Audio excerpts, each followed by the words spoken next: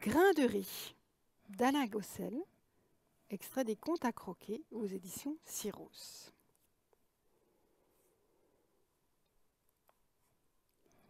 Il était une fois un jeune homme qui était très pauvre. C'était le 31 décembre, le dernier jour de l'année, et d'habitude ce jour-là on fait un bon repas. Il s'est dit Qu'est-ce que je vais bien pouvoir manger? Qu'est-ce que j'ai dans ma cuisine? Il va dans sa cuisine, il ne lui restait plus rien. Pas de pommes de terre, pas de spaghettis, pas de couscous, pas de haricots, pas de lentilles, pas de pain, pas de sucre, pas de chocolat, pas de lait, rien, rien. Il avait une vieille table en bois. Il tire le tiroir de la table et là, qu'est-ce qu'il trouve dans une fente du tiroir? Un grain de riz. Il se dit Je vais manger ce grain de riz. Ça vaut mieux de manger un grain de riz que de ne rien manger du tout. Je vais le faire cuire. Ça me fera passer le temps. Et puis, quand il sera cuit, euh, je le sucerai lentement, lentement. Mais pour faire cuire son grain de riz, il lui fallait une casserole. Il était tellement pauvre qu'il n'avait plus de casserole. Il avait déjà vendu toute sa vaisselle. Il va trouver son voisin. Tu peux me prêter une casserole? J'ai du riz à faire cuire pour ce soir. D'accord, a dit son voisin. Je te passe une casserole, laquelle veux-tu? La petite ou la grande? Euh, Moi, on m'a dit pour faire cuire le riz, pour qu'il ne colle pas, pour qu'il n'attache pas, il faut le faire cuire dans beaucoup d'eau. Donne-moi la grande casserole. Le voisin se dit Oh, il doit avoir beaucoup de riz, hein Moi, j'ai la flemme de me faire à manger ce soir, hein Je viendrai bien manger avec lui. D'accord. Je te prête la casserole. Mais ce soir, je viens manger avec toi. Hein. D'accord. Qu'il y en a pour un, il y en a pour deux. Pour faire le cuire le riz, il fallait mettre de l'eau dans la casserole. Il n'en avait pas parce qu'à cette époque-là, il n'y avait pas l'eau courante dans les maisons. Il fallait aller chercher l'eau à la fontaine. C'était à 800 mètres. C'était l'hiver. Il faisait froid. Pour tirer l'eau à la fontaine, il y avait une pompe à la main. Il avait du rhumatisme. Il avait la flemme d'y aller. La voisine, elle va bien me passer un peu d'eau. Il va chez la voisine. J'ai du riz à faire cuire pour ce soir pour le voisin et moi, mais je n'ai pas d'eau. Tu peux m'en passer un peu? La voisine lui répond. D'accord, hein, mais je me suis donné du mal pour aller à la fontaine. Hein. Je te passe de l'eau, mais, mais je viendrai manger le, riz avec vous. Hein. D'accord. Quand il y en a pour deux, il y en a pour trois. Pour faire cuire le riz, il fallait faire du feu, avec du bois, du papier et des allumettes. Il n'en avait pas. Il va chez Pierre, chez Jacques. Pierre lui a passé du bois, Jacques des allumettes et Michel du papier. Chaque fois qu'il empruntait quelque chose, euh, ils ont dit D'accord, mais on vient avec vous. D'accord. Quand il y en a pour trois, il y en a pour quatre. D'accord. Quand il y en a pour quatre, il y en a pour cinq. D'accord. Quand il y en a pour cinq, il y en a pour six. Du coup, il avait tout ce qu'il fallait. Le feu, l'eau, la casserole, mais un seul grain de riz. Comment je vais faire ce soir pour partager le grain de riz en six? Ou alors euh, on le suce euh, chacun notre tour Il réfléchit, réfléchit. Tout à coup, il a une idée. Dans le village, euh, il y avait un fermier qui élevait des poules. Il va le trouver et lui dit ce soir, on est six à manger du riz. Il y a le voisin, la voisine, Pierre, Jacques, Michel et moi. Toi, tu es tout seul. tu dois t'ennuyer. Si tu as envie de venir manger avec nous, tu, seras le bienvenu. Mais euh, on est de pauvres gens, hein, on mange le riz sec, sans viande, sans assaisonnement. Toi, tu, mangerais le riz avec une poule, par exemple. Mais si tu veux manger notre riz, hein, tu, seras le bienvenu. Le fermier dit euh, Je viens manger votre riz, mais, je ne vais pas venir les mains vides. C'est normal que j'apporte quelque chose. Tiens, prends cette petite poule, Grâce qui est là. Le garçon a pris la poule, il était content. Il vaut mieux manger une poule à sept que de manger un seul grain de riz à six. Mais quand même, une poule à sept, ça ne fait pas un gros morceau pour chacun. Ah, je suis bête de lui avoir parlé de ses poules, j'aurais dû lui parler de ses dindes ou de ses oies. Dans le village, il y avait une vieille qui élevait des dindes. Il va trouver la vieille. Et il dit euh, Ce soir, on est sept à manger une poule au riz le voisin, la voisine, Pierre, Jacques, Michel le fermier, et moi. Toi, tu es seul, tu dois t'ennuyer. Si tu as envie de venir manger avec nous, tu seras la bienvenue. On aura une poule pour huit. Ça fait pas un gros morceau pour chacun, hein, c'est pas aussi gros qu'une dinde, mais on se débrouillera avec la poule pour huit. La vieille dit euh, bah, Moi, je vais pas venir les mains vides. Les dindes, je les vends. Je suis toute seule. Je n'ai pas l'occasion d'en manger. Pour une fois que je peux en manger en compagnie, tiens, prends la petite dinde qui est là. Quand il a vu que ça marchait bien comme ça, il est allé chez le jardinier pour avoir des légumes, chez le pâtissier pour avoir des gâteaux, chez l'épicier pour l'assaisonnement. Ce qui fait que le soir, ils étaient au moins quinze à table.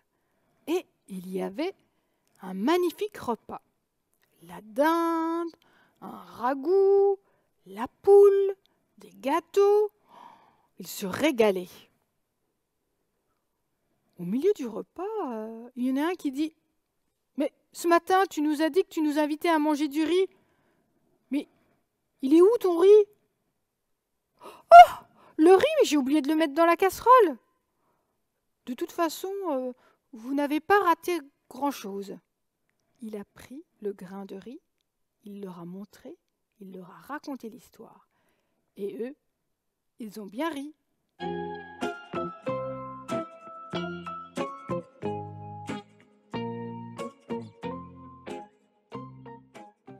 Der Besuch von Antje Damm. La visite Dantje Damm. Elise war ängstlich. Sie hatte Angst vor Spinnen, Angst vor Menschen und sogar Angst vor Bäumen. Deshalb blieb sie immer zu Hause, Tag und Nacht. Elise avait peur de tout. Elle avait peur des araignées, peur des gens, et elle avait même peur des arbres. Alors elle restait à la maison, tout le jour et nuit. Und weil sie es gerne sauber und ordentlich hatte, putzte sie jeden Tag das Haus. Manchmal öffnete sie auch ein Fenster, um frische Luft hereinzulassen. Einmal geschah etwas Unglaubliches. Et comme elle aimait plus que tout, que tout soit bien rangé et bien propre, elle faisait le ménage tous les jours. Parfois, parfois, elle ouvrait une fenêtre pour aérer la maison. Un jour, il se produisit un événement extraordinaire.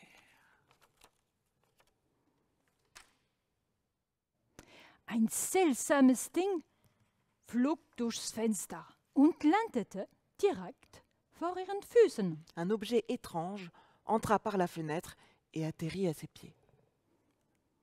Ängstlich beäugte sie es eine Weile. Elle l'observa un moment avec méfiance. Das darf hier auf keinen Fall bleiben, entschied Elise und verbrannte es im Ofen. Ça ne peut pas rester ici, décida Élise. et elle le jeta au feu. Aber in der Nacht Mais dans la nuit qui suivit, schloss sie vor lauter Angst kein Auge. elle eut tellement peur qu'elle ne réussit pas à fermer l'œil.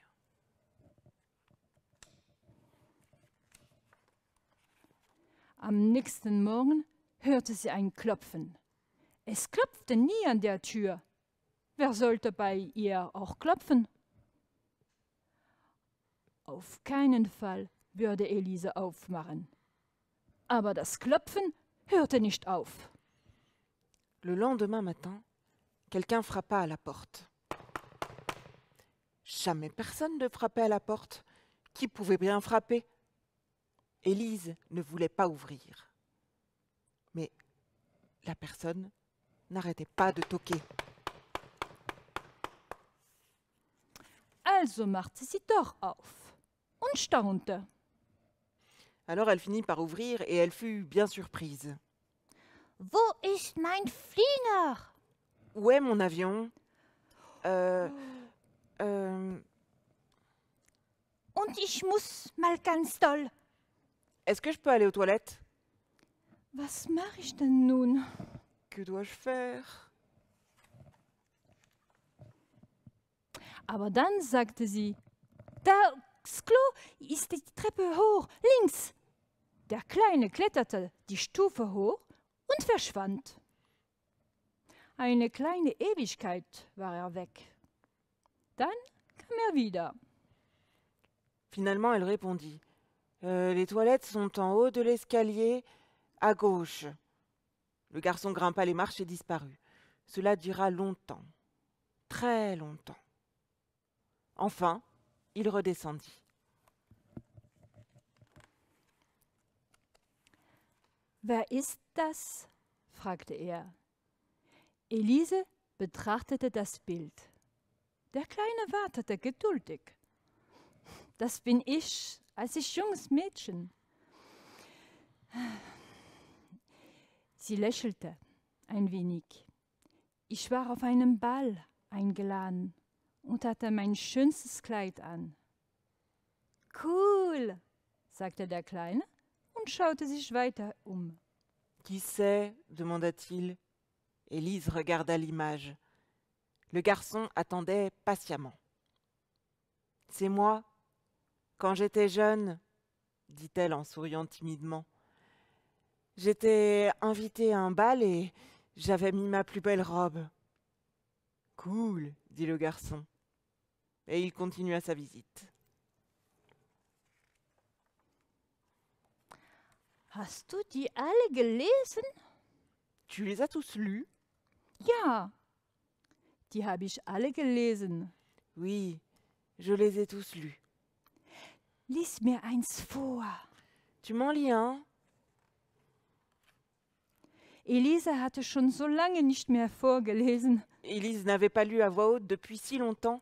Der Kleine wollte das ganze Märchenbuch Le garçon hören. voulait lire tout le livre. Dann wollte er spielen. Ensuite, il voulut jouer.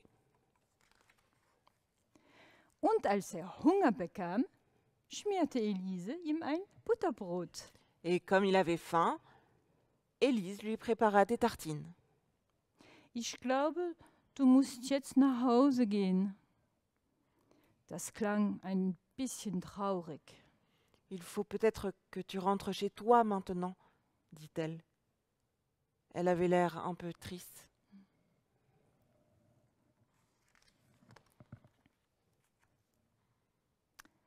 Tschüss, Elise. Es ist schön bei dir, sagte er und wickte kurz zum Abschied. Au revoir, Élise. C'est très beau chez toi, dit-il. Et il partit en faisant un signe de la main. À bientôt, Émile, dit Élise. Bis bald, Emil. Der Abend kam und plötzlich wusste Elise, was sie zu tun hatte. La nuit tombait. Soudain, Élise eut une idée. Elle sut ce qu'elle avait à faire.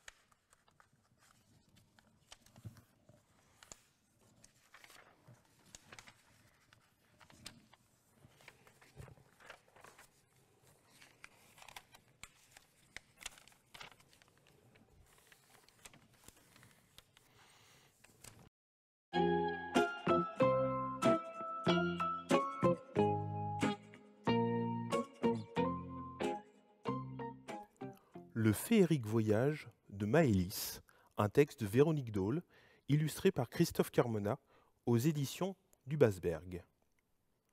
Comme chaque année, au solstice d'été, toutes les petites fées s'apprêtent à partir en vacances au pays imaginaire.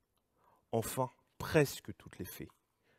Comme chaque année au solstice d'été, la petite Maëlys a beau mettre tout son cœur et toute son imagination, elle n'arrive pas à s'envoler.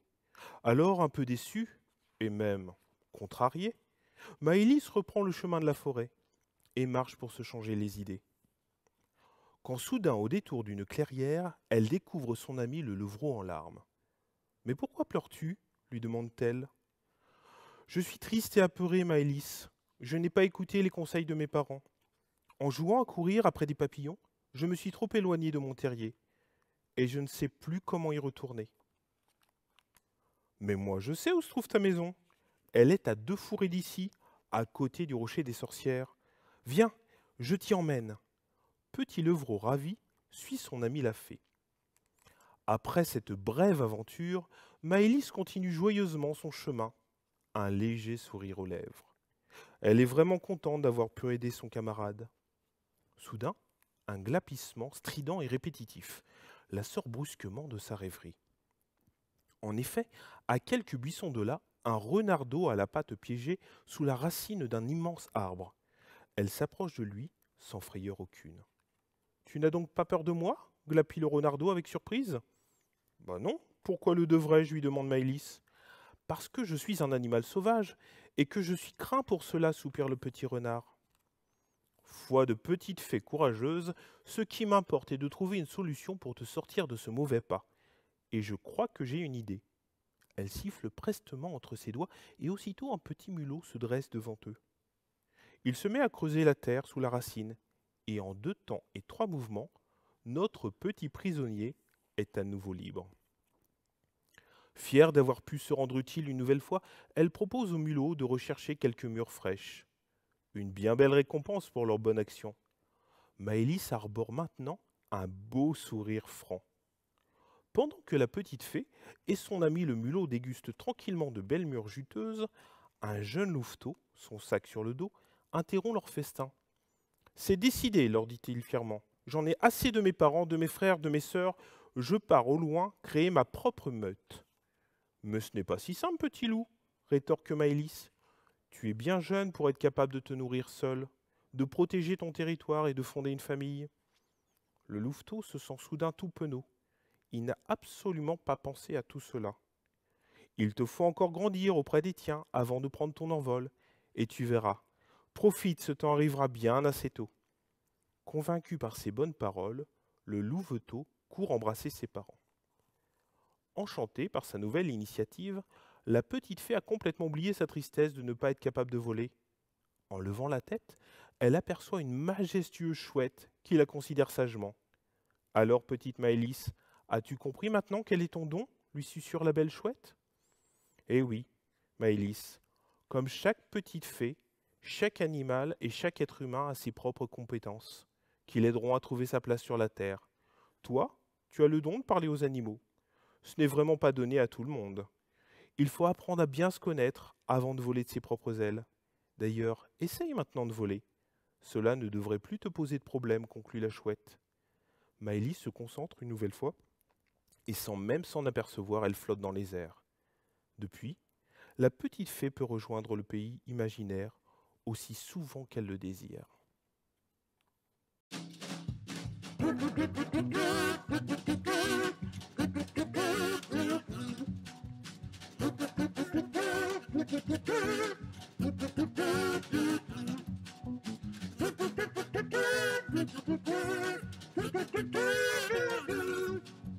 Pick a dick, pick a dick, pick a dick, pick a